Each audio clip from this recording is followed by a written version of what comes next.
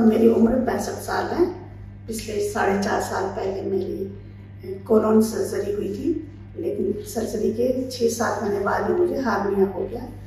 तो फिर मैं इस साल अक्टूबर में डॉक्टर अरुण भारद्वाज के पास आई, जिन्होंने मुझे सर्जरी की सलाह दी थी और उनके कहे मुताबिक जब मैंने सर्जरी करा ली और ये सर्जरी मेरी सवा महीने पहले हुई थी और उस सर्जरी के बाद मैं बिल्कुल ठीक हूँ।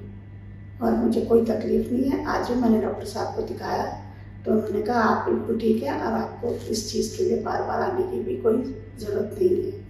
मैं डॉक्टर भारद्वाज से पूरी तरह से संतुष्ट हूँ कि उन्होंने मेरा सही इलाज किया।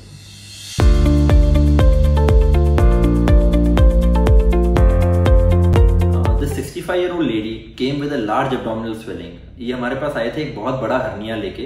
जो कि पेट के ऊपरी हिस्से से लेकर निच, निचले हिस्से तक था।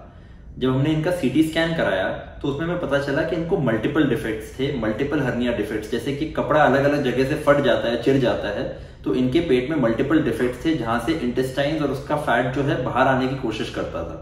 तो हमने डिसाइड किया कि इनके लिए बेस्ट अप्रोच होगा एब्डोमिनल वॉल रिकंस्ट्रक्शन जिसमें हमने सारे डिफेक्ट्स जो है इनके हर्निया कंटेंट्स को रिड्यूस किया इन सारे डिफेक्ट्स को अच्छे से रिपेयर किया और फाइनली एक बड़ी मेश जो कि एक प्रोस्थेटिक मेश होती है वन बाय वन फुट की साइज़ की मतलब एक फीट के साइज़ की पूरी मेश लगाई, जिससे सारे डिफेक्ट्स अच्छी तरह से कवर हो जाए और इनकी पेट की दीवार को या वॉल को एक स्ट्रेंथ मिले, जिससे ये प्रॉब्लम इनको आगे दोबारा परेशान ना करे। So when you consult your surgeon जब आप अपने सर्जन से मिलेंगे तो वो आपके हर्निया को देख के, उसको एग्जामिन करके टेस्ट करके डिसाइड करेंगे कि आपके लिए बेस्ट अप्रोच कौन सा होगा। एब्डोमिनल वॉल रिकंस्ट्रक्शन जिसमें हम कंपोनेंट सेपरेशन करके मैश लगाते हैं, या लैप्रोस्कोपी द्वारा, जिसमें हम छोटे छोटे कट्स करके उससे दूरबीन से ऑपरेशन करते हैं, या फिर जो लेटेस्ट टेक्नोलॉजी है रोबोटिक जिसमें हम बेसिकली रोबोट के प्रिसिशन की हेल्प लेते हैं और एक बहुत ही स्ट्रांग और ड्यूरेबल रिपेयर देते हैं।